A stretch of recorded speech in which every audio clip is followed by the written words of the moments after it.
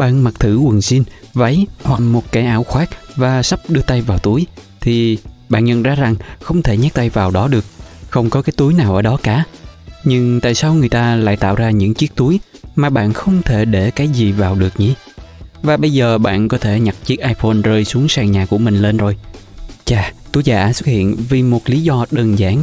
Nếu một món đồ mà có kiểu dáng đặc biệt thì túi có thể làm hỏng kiểu dáng ấy. Nó có thể khiến hình dáng của món quần áo thay đổi. Không chỉ ở kho hàng mà còn là tại các cửa hàng bán lẻ. Giải pháp là gì ư? Đó là loại bỏ túi ở các vị trí quan trọng. Ngoài ra, túi giả sẽ giúp tiết kiệm chi phí và chúng không bị co giãn.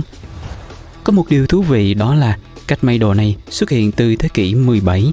Ngày ấy, túi có thể tháo rời. Chúng giống như những cái túi sách nhỏ và phụ nữ có thể chuyển chúng từ trang phục này sang trang phục khác. Nhưng rất tiếc khi kiểu thời trang ấy cũng rất được việc đối với các tên trộm. Họ có thể giật một cái túi như vậy và chạy đi. Sau đó quần áo trở nên đơn giản hơn và những cái túi mỏng bắt đầu được khâu trực tiếp vào trang phục thay vì kiểu tháo rời như trước đây. Người ta nghĩ rằng cách may như vậy sẽ tôn lên các đường nét của người mặc. Nhưng không lâu sau đó, những chiếc váy mỏng nhẹ bắt đầu thịnh hành và túi không được may vào nữa. Và mọi người dần sử dụng túi sách thay vì túi may cùng quần áo.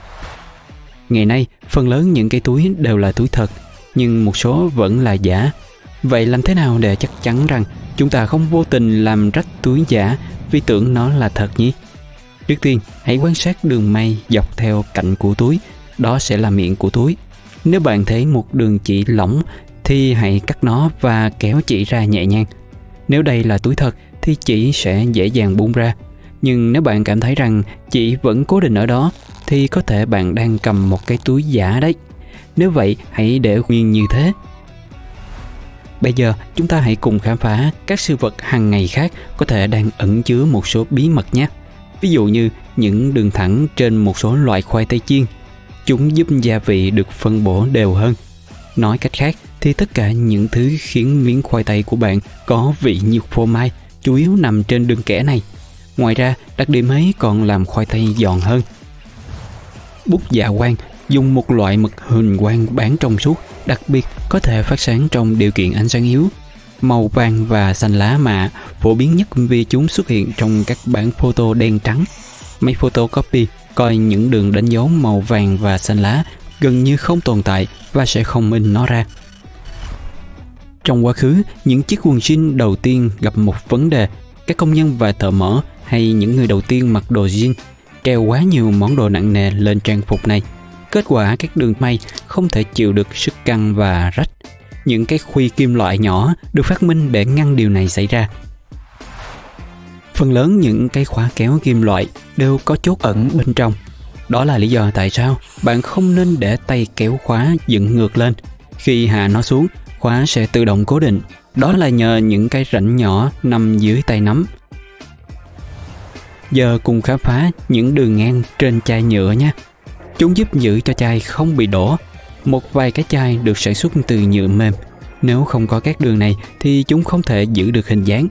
Thay vào đó, chai sẽ dễ bị xoắn hoặc thậm chí là bể luôn. Bọt tắm không chỉ có tác dụng giúp cho việc tắm tắm vui và thơm tho hơn đâu. Nó còn hỗ trợ điều tiết nhiệt độ, các bong bóng giữ ấm nước và bạn có thể tắm lâu hơn một chút. Bạn có bao giờ để ý đến lớp chất lỏng trong suốt trên cái bút nước của mình chưa? Nó được gọi là chất dần mực. Loại mực nước có trong những loại bút như vậy chứa các hạt sắc tố tan trong dung dịch polymer. Gel phải đủ đặc để giữ cho các hạt sắc tố nằm lơ lửng nhưng cũng đủ lỏng để chảy lên bi của bút và sau đó là lên giấy. Nhiệm vụ chính của chất chặn mực là tạo ra một hàng rào nhằm ngăn mực nước bay hơi hoặc rò rỉ ra ngoài. Nếu thiếu chất lỏng trong suốt này, bút mực nước sẽ không hoạt động được chất lỏng sẽ ở nguyên một vị trí và không hòa vào mực. Nó cũng không di chuyển ngược lại hoặc chảy ra khỏi bút. Các lỗ ở đáy tai nghe của bạn cho phép không khí lưu thông lên trên và đi qua loa. Nó giúp tăng tần số thấp và khiến âm trầm sâu hơn. Chất lượng âm thanh nhờ đó cũng trở nên hay hơn rất nhiều. Một số bình nhựa chứa sữa có các vết lõm vào ở hai bên. Các vết lõm này xuất hiện là có lý do cả. Thứ nhất là khi sữa bị hỏng, sữa hỏng thường khiến bình phồng lên và tạo ra áp suất khá cao. Đó là lúc vết lõm trở nên hữu ích. Nó đẩy ra ngoài và không làm bình nổ tung. Ngoài ra, nếu bạn muốn làm đông sữa thì nó sẽ nở ra như mọi chất lỏng khác và khi ấy vết lõm cũng sẽ đẩy ra và ngăn bình bị vỡ khi nằm trong ngăn đông tủ lạnh. Cách này hay thật đấy. Cửa sổ máy bay có cạnh bo tròn và đó là một biện pháp an toàn quan trọng. Nó ngăn ngừa tai nạn máy bay. Những điểm yếu thường được nằm ở các góc. Nếu cửa sổ máy bay có hình vuông hoặc hình chữ nhật thì mỗi cửa sổ sẽ có tới 4 điểm yếu tiềm tàng. Khi chịu áp lực, cửa sổ sẽ bị hỏng nếu nhìn kỹ dây điện nằm trên đường ray của xe điện, bạn sẽ thấy dây đi theo đường xích sắt thay vì một đường thẳng. Lý do là vì các xe điện nào cũng có bộ truyền tải điện trên nóc. Phần trên của bộ truyền tải thường mòn đi vì bị dây quệt trúng và cuối cùng nó sẽ bị thay thế. Để phần trên mòn đi đều hơn, dây điện không đi thẳng theo đường ray mà được lắp đặt theo kiểu zigzag. Khi xe điện di chuyển, bộ truyền tải trượt đi bên dưới dây và bị mài mòn nhiều hơn. Chắc bạn từng tự hỏi tại sao một số can xăng có hai miệng đi cùng nắp, một miệng lớn và một miệng nhỏ hơn. Trước đây tôi nghĩ rằng lỗ nhỏ được dùng khi bạn cần rót dung dịch vào bình chứa nhỏ hơn, nhưng tôi đã lầm. Đó chỉ là trường hợp hiếm thấy mà thôi. Trên thực tế, bạn phải mở nắp của miệng nhỏ trước khi đổ xăng qua miệng lớn để ngăn cho miệng lớn bị sặc và khiến dung dịch bắn lên quần áo và tràn xuống đất. Hầu hết các lỗ khuy trên áo sơ mi đều nằm dọc nhưng lỗ ở phía trên và đôi khi là ở phía dưới lại nằm ngang. Lý do đơn giản lắm. Hai nút này thường bị tuột ra nhiều hơn những nút khác. May mắn thay, các nhà sản xuất đã tìm ra giải pháp để ngăn không cho những cái khuy này tuột ra. Và đó là lỗ khuy ngang. Khuy áo ít khi bị bung ra từ những lỗ kiểu vậy. Các gói đường hoặc muối vàng ống dễ mở hơn nhiều người tưởng.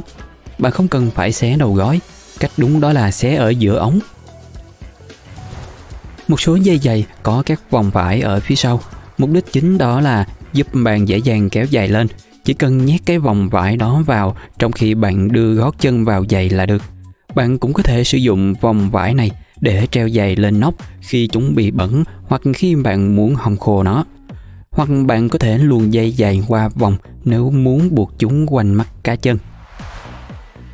Khi lên máy bay, có thể bạn sẽ nhìn thấy một tam giác nho nhỏ phía trên ghế của mình – những hình tam giác này giúp phi hành đoàn biết được vị trí tốt nhất để kiểm tra cánh máy bay qua cửa sổ trong trường hợp cánh máy bay bị lắc lư. Nếu giày của bạn bị mòn thì chỉ cần lấy giấy nhám chà lên đế giày là có thể tăng độ bám rồi đấy. Chúng sẽ bám đường hơn và bạn có thể mang chúng khi trời mưa. Nếu bạn khoan lỗ ở đáy thùng rác thì việc lồng và lấy túi rác sẽ dễ dàng hơn nhiều. Túi rác sẽ không bị hút vào thùng bạn thường tìm thấy túi hút ẩm silicat trong túi sách, giày và nhiều món đồ khác. Cái túi này sẽ hút lượng ẩm dư thừa, đừng vứt nó đi nhé. Mỗi lần giày của bạn bị ướt, hãy cho một vài túi vào bên trong. Bình cách nhiệt cá nhân không được phát minh để giữ nhiệt cho ly cà phê của bạn. Nó được tạo ra bởi một nhà khoa học người Scotland. Ông cần một nơi để giữ các loại hóa chất của mình luôn có nhiệt độ ổn định. Vì vậy, ông ta lấy hai chai cho chai nhỏ vào trong chai lớn hơn và hút không khí khỏi khoảng trống ở giữa. Thôi thì cũng cảm ơn vì những tách cà phê nóng nhé.